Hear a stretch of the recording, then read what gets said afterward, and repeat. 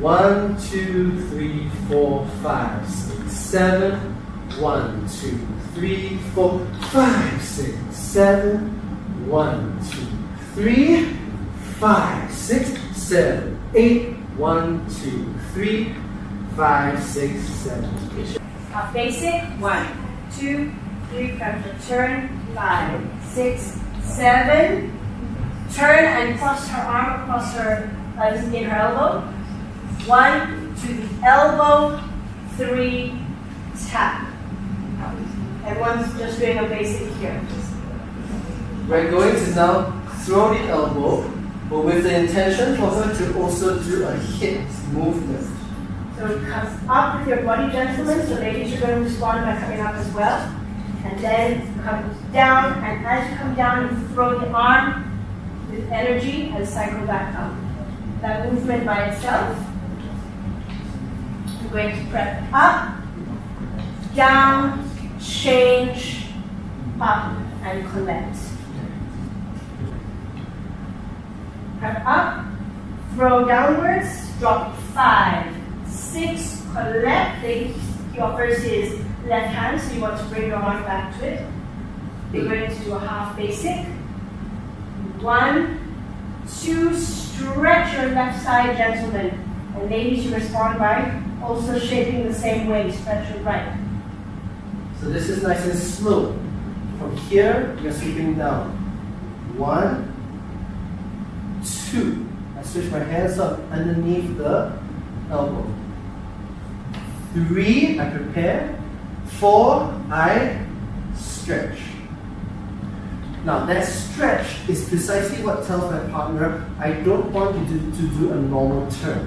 I want you to start doing something that involves body movement, sensual Bachata.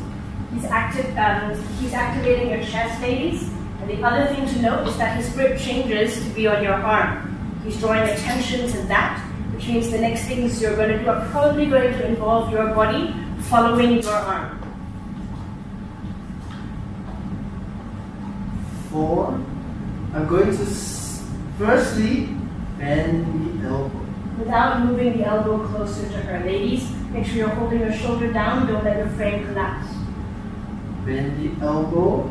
Bring it in between the two of you. See, we start the beginnings of a body roll. Except that now we're going to carry on that movement. Five, six, Bring it up above her head so that the ladies feel that they have to arch upwards. and around seven and eight. With timing, smoothly. One, two, three, four, five, six, seven, eight. On the other side. One, two, three, four, five, six, seven, eight. Ladies, you're stepping through with your basic foot, uh, basic weight changes. Four, step on the left. Five, you're tilting up. Six, and then you're, as you, as you pivot round, close. Seven, and your chest is going to start to lead the next movement. Seven, and you come up. Eight, tapping your right foot. In terms of the movement here, it's going to start sideways, flip, so that you're now front, pull your chest up, up, and then I'm going to pivot, over pivot so you can see me from the side. I'm going to over pivot here, and then you're going to go down with the chest, seven, and when he starts to bring you up, you invert the movement, and the chest first, head last. For the gentleman, in terms of where your hands go, what's very important is when you dive down, you want to first control the elbows turned in. That will start to curve the lady's body inwards. My body is following my arms. He's starting to bring it in. I'm starting to movement with my chest inwards. Note that I have to do the same movement. If you don't move, it's really weird. It's like, should I be? Should I not be? You go together with her. I am also almost doing a body. When you slide this hand in between, use your right hand as a guide. Your right hand should already be in between the two of you. In Bring your left hand underneath your right hand. If you pull her here, she will fall towards you.